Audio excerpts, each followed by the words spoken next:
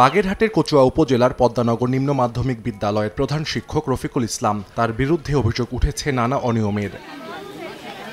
অভিযোগ উঠেছে উপবৃত্তির কাট করিয়ে দেওয়া সহ নানা কথা বলে শিক্ষার্থীদের কাছ থেকে অর্থ হাতিয়ে নেন তিনি। কেউ টাকা দিতে অপারগতা প্রকাশ করলে অসদ আচরণ করেন বলেও অভিযোগ করেন অভিভাবকরা। প্রতিষ্ঠান প্রধানের অনিয়ম দুর্নীতির কারণে বাধাগ্রস্ত হচ্ছে শিক্ষা কার্যক্রম।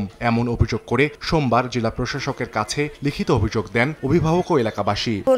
এখনই লই তিনশো টাকা লাগবে। আর ওই কাগজপত্র দিয়ে যাইও। বলতেছে আবার সেই উপবৃত্তির কাজ কার্যকর পুরাটা হয় না এই জন্য আবার টাকা দিতে হবে। প্রতি বছরে বছরে মাসে মাসে মাসে কিংবা সপ্তাহে সপ্তাহে এরকমের টাকা লাগে নাকি? দুর্ব্যবহার করে তো যে টাকা দিস নাই কেন? এক টাকা এই আমার দুশো টাকা হবে না চারশো টাকা দিতে হবে। এই অবস্থা থাকে স্কুলে আমার বাচ্চারা এখানে আমি পড়াবো। সব অভিযোগ অস্বীকার করে ওই প্রধান শিক্ষকের দাবি অন্যায়ভাবে নয় বরং বিদ্যালয়ের পরিচালনার জন্য কিছু টাকা আদায় করা হয় শিক্ষার্থীদের কাছে থেকে। স্কুল পরিচালনার জন্য এই যৎসামান্য পয়সা তো আমাকে একটু ওদের কাছ থেকে চাইতে হয়। স্কুলের পারপোজ ওই যে কিছু খরচ আছে চক খাতা কলম ডাস্টার অনেক ফ্যান সারানো টিউবওয়েল সারানো এগুলোর বাবদ এই- এইখান থেকে আমাকে এটা খরচ করতে হবে। এমপিওভুক্ত শিক্ষা প্রতিষ্ঠান থেকে পরীক্ষা ফি ব্যতীত অন্য কোনো খাতে অর্থ আদায়ের সুযোগ নেই জানিয়ে শিক্ষা কর্মকর্তা বলছেন, অভিযোগ পেলে নেওয়া হবে আইনগত ব্যবস্থা।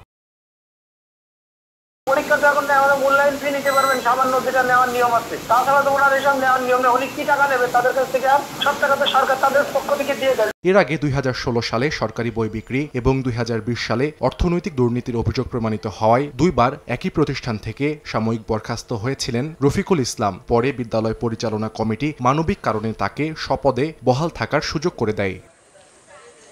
সময় সংবাদ, বাগেরহাট।